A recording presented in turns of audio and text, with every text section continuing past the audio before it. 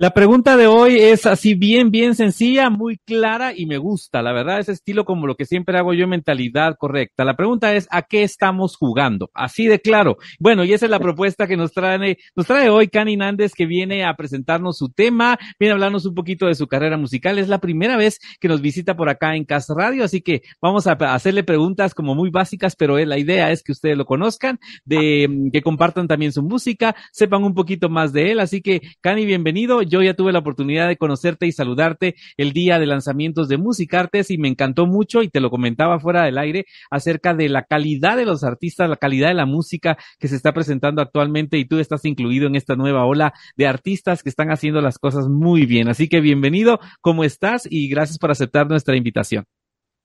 Muchas gracias, pues ahí muy contento de esta oportunidad, este tiempo para poder presentar mi música. De verdad que Ah, para mí es súper importante poder eh, mostrar y, presentar pues, los, trabajos que estamos realizando y, como lo, mismo lo mencionaba, ¿verdad? Que eh, aquí en Guatemala pues está empezando a evolucionar un poquito ahí la música y todo y bien contento de haber podido ser parte de, este lanzamiento de Musicarte, la verdad, de este año.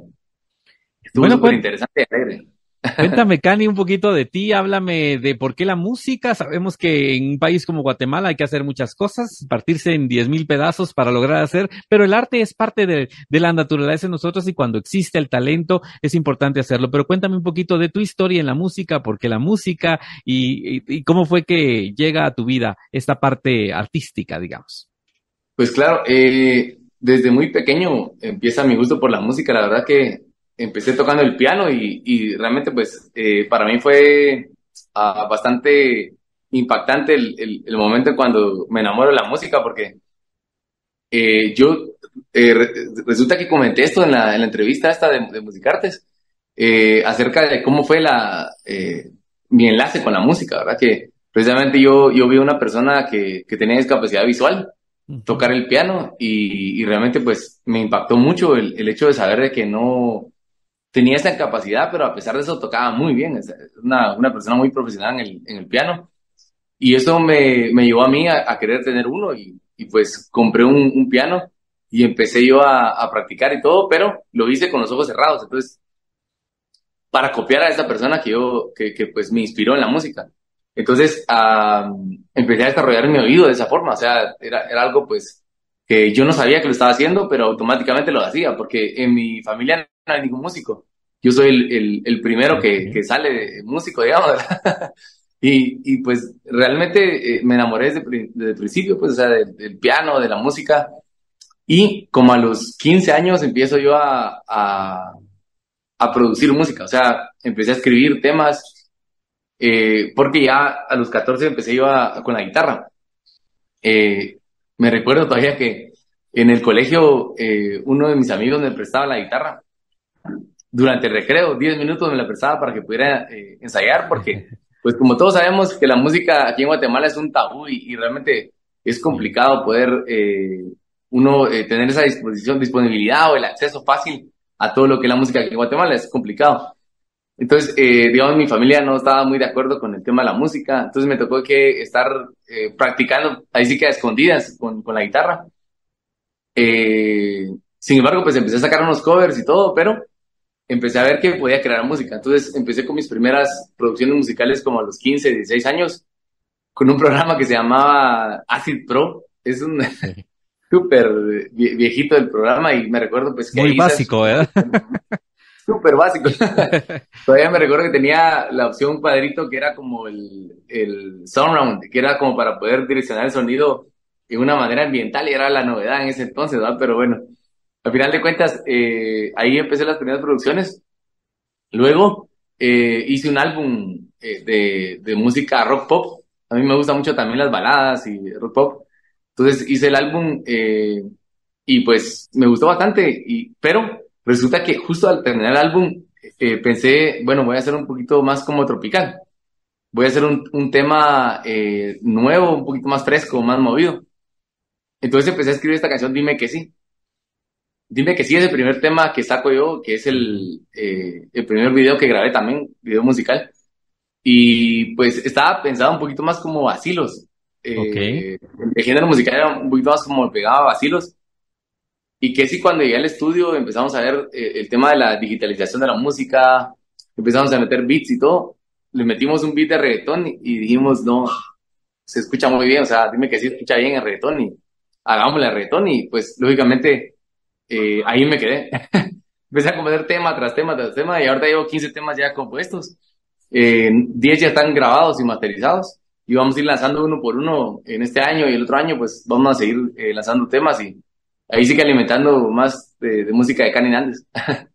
Qué bueno, Cani, me, me gusta mucho eh, en la parte de tu historia donde has tenido pues que evolucionar y yo creo que muchos artistas lo hacen y es válido. Eh, los tiempos ahora cambian muy rápido. Yo recuerdo que la, cuando hablábamos en nuestros tiempos noventas, la década del rock, ochentas rock un poquito, noventas más pop y eran diez años para cambiar de un estilo a otro. Entonces realmente ahora todo es mucho más rápido, hay mucha evolución y, me interesa mucho, la verdad, pensar que los artistas, eh, por eso es que están surgiendo muchas corrientes también en Guatemala de música porque se están adaptando a lo que está llegando y eso es muy bueno y te felicito por ese lado, Cani, por, por estar produciendo música. Y mmm, quiero preguntarte de este tema que estamos jugando, que ya no, los, no lo habías presentado, ya está en las plataformas, está en las redes sociales, pero háblame un poquito de en sí el tema, cómo surge, eh, de qué habla, aunque el título ya no sugiere muchas cosas, pero de tu voz, cuéntanos la historia, por favor. Sí, pues eh, el tema surge bueno, de hecho, la mayor parte de temas que yo escribo es una mm, inspiración que viene por vivencias mías o de alguien más. En este caso, pues yo la escribí pensando en, eh, en alguna persona pues que quiera dedicar esta canción. Porque sé que cuando uno encuentra el amor es eh, un poco como impactante y cambia. O sea, la vida de uno da una, una vuelta, un giro eh, pues tremendo y al final de cuentas uh, yo creo que esto lo percibe uno, los amigos, eh, y la fiesta. O sea, y eso, a eso se, trata la canción, que realmente el chico que está, pues que en este caso el protagonista fui yo, eh, yo estoy en, en, una situación de fiesta, de un after party, pero eh, en realidad no quiero estar ahí. O sea, el tema es de que estoy pensando en, en, esta chica que me robó el corazón y todo, y, y al final de cuentas, pues eso le, nos pasa a todos, o sea, no queremos nada más que estar con ella y, y de eso trata la canción, pero el tema es de que el, el, el chico no lo quiere aceptar, o sea, se siente como, como no, o sea, yo no quiero, aquí estamos jugando, pues, o sea, yo no, no me quiero involucrar tanto en el amor, ni quiero pensar tanto en ti, sino que quiero estar libre, pues, y quiero eh, andar molestando de fiesta, así. Por eso es el tema de la canción, exacto. Bueno, y el video también tiene mucho que ver con eso. Cuéntanos un poquito del lado de la producción de tu video musical, que también ya tuvimos la oportunidad de verlo, pero también para eh, incentivar un poquito la curiosidad de quienes nos están viendo, nos están escuchando, que también vayan a verlo. Háblame un poquito de la producción de tu video.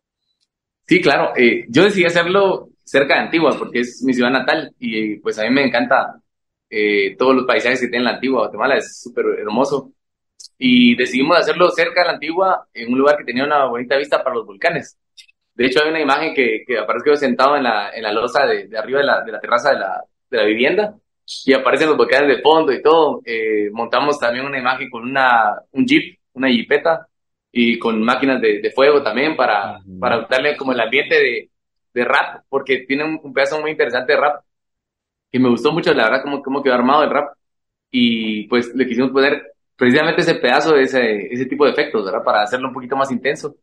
Y eh, la, el resto del video, pues es una casa que fue protagonista de un after party, con un DJ, están unas chicas ahí, todos estamos tomando, brindando y jugando eh, en una mesa de billar también, ¿verdad? Que, que pues eh, le hace alusión al, tema de qué estamos jugando, ¿verdad? O sea, también tira, una chica tiene unos dados y pues hay varias escenas que, que tienen mucho contexto o se se ligan al, al tema de la, relacionado con la canción, pues lo que habla la letra y todo. Y al final, pues del video, aparezco yo eh, sentado pues eh, en una esquina de la, de la fiesta, pensando en la chica que me, que, que, me robó el corazón y pues ya no puedo hacer nada y estoy viendo las fotos en, en verdad. y ahí, ahí cierra el, el video precisamente.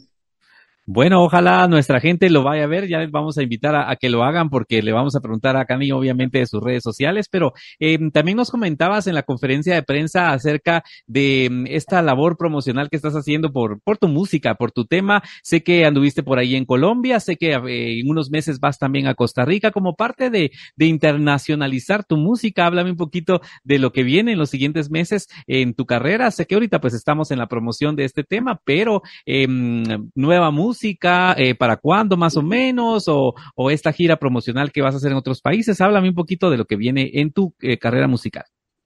Claro, uh, pues para empezar, creo que es algo que, que no, no me lo creía, pues o sea, siento que cuando empecé a grabar la, la música era como, me encanta la música y, y las producciones, pero no, no, sabía que me iba a llevar tan, tan lejos, digamos, entonces aquí estamos jugando, me abre la puerta para poder llegar a, a Colombia y, y, poder presentar mi música, pues, eh, a nivel internacional y, y, yo llego allá a Colombia, pues, la gente muy linda, muy cálida, eh, me gustó mucho el apoyo que hay, de, de verdad que voy a regresar eh, por allá el otro año eh, para hacer una gira de, de, conciertos en colegios y promocionar más la música, el EP, que ya pienso tenerlo más o menos como para marzo del otro año. Ok. Eh, el EP pues son los cinco temas que ya, que, que, ya los voy alcanzando casi, ¿verdad? Que como, como te comentaba, que ya los tengo grabados, pero vamos haciendo producción tras producción, entonces para hacerlo de una, una buena manera. Entonces, Colombia me abre las puertas y, y realmente uh, pues llegar a los medios de comunicación por allá es,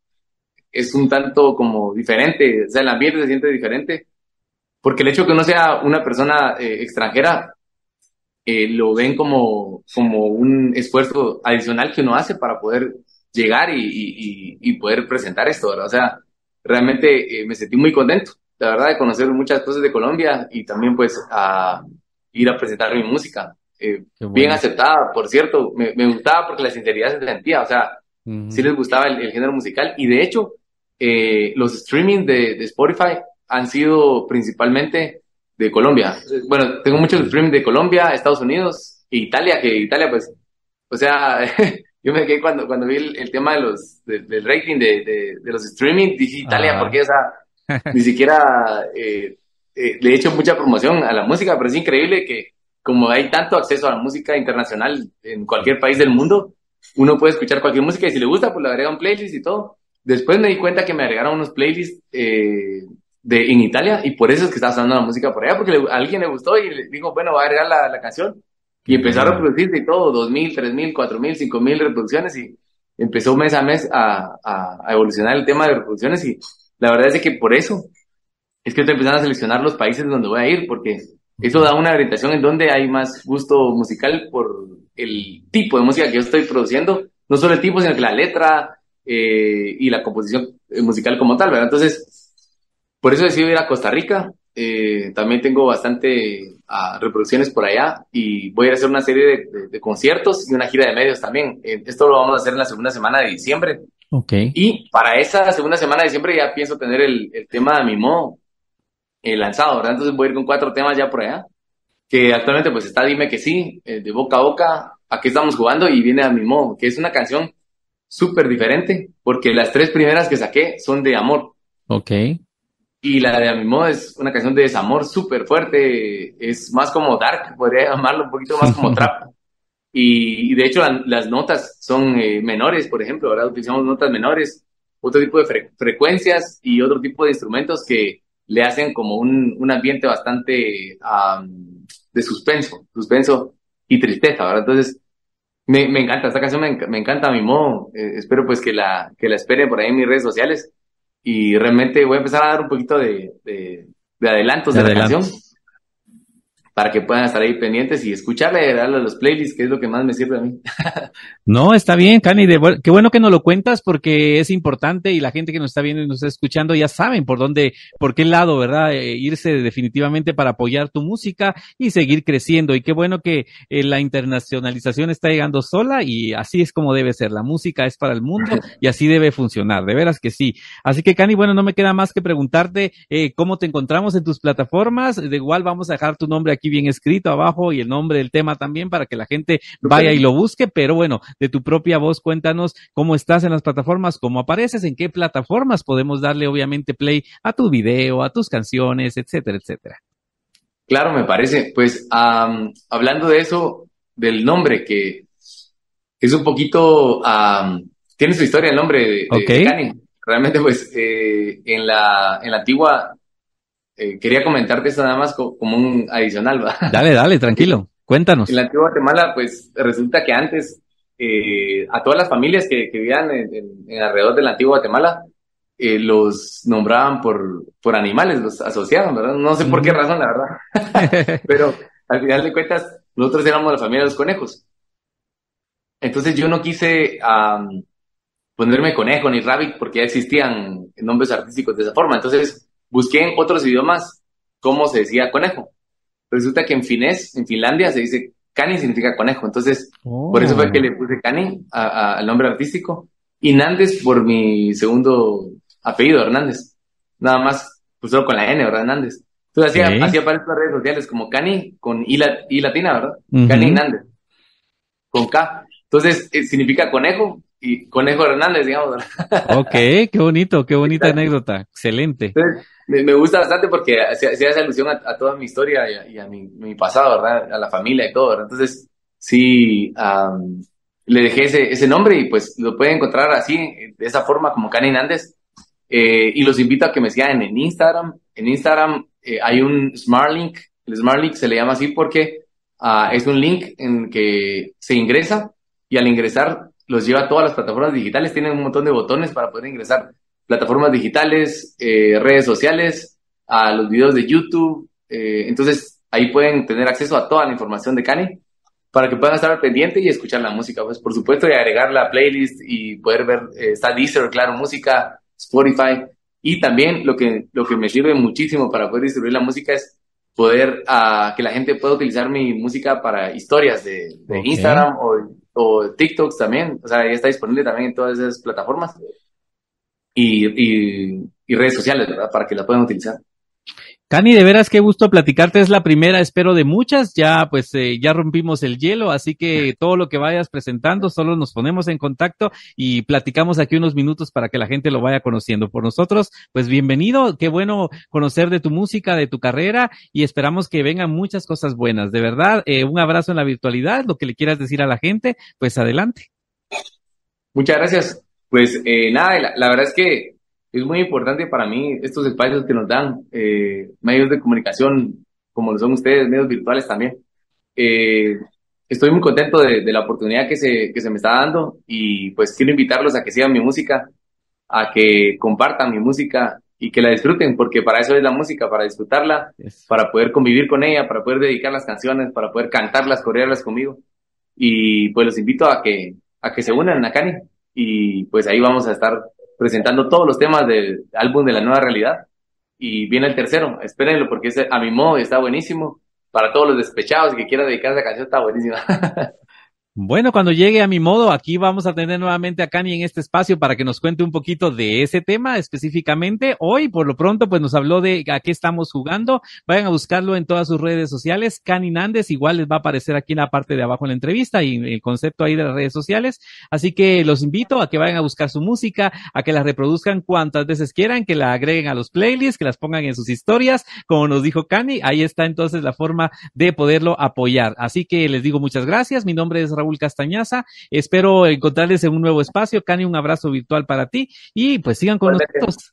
Somos Cas Radio, un pretexto más para estar online. Hasta la próxima. Cuídate mucho. Hasta luego.